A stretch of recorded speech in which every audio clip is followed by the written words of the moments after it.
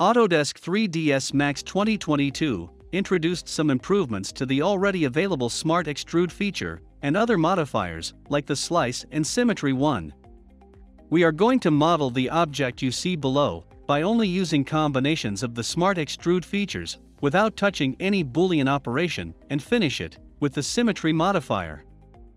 The Smart Extrude feature is pretty easy to use it works both with editable poly objects and edit poly modifiers.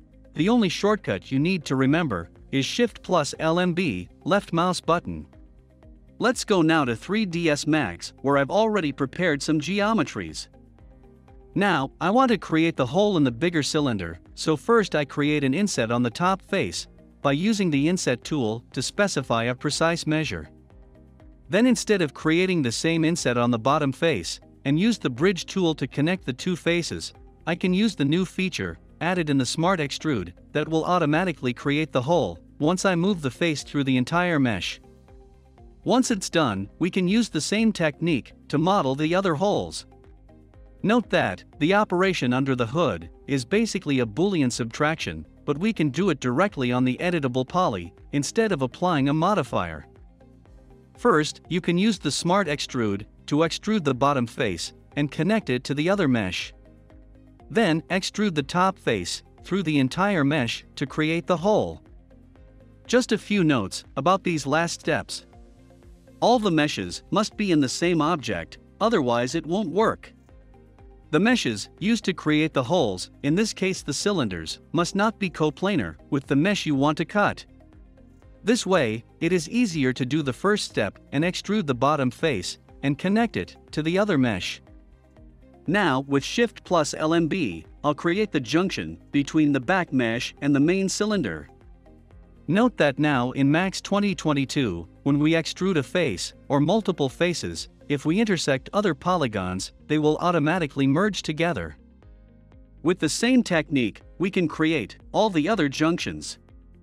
It is important that all the faces go inside the target mesh, otherwise it won't merge all the polygons.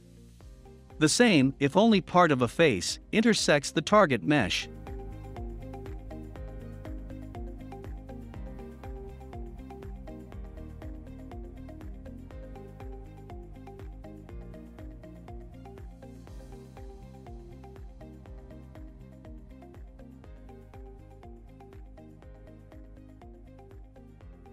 And this is the final result.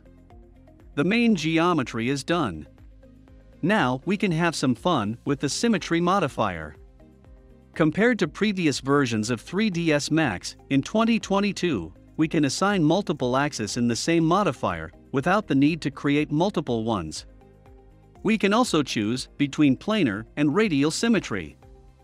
Since we are working with a mechanical piece, it would be pretty useful to see some sections of it. Thanks to the updated Slice modifier in Max 2022, it is super fast and easy to achieve what you need. Like in the Symmetry modifier, we can choose multiple axes at the same time.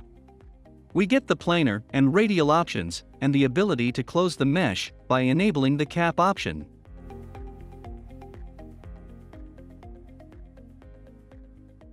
Here, you can take a look at some renders of the piece modeled with the previous techniques. Before rendering, I used the new retopology tools available in 3ds Max to remesh the object. We are going to take a look at those in another video. Thanks for watching.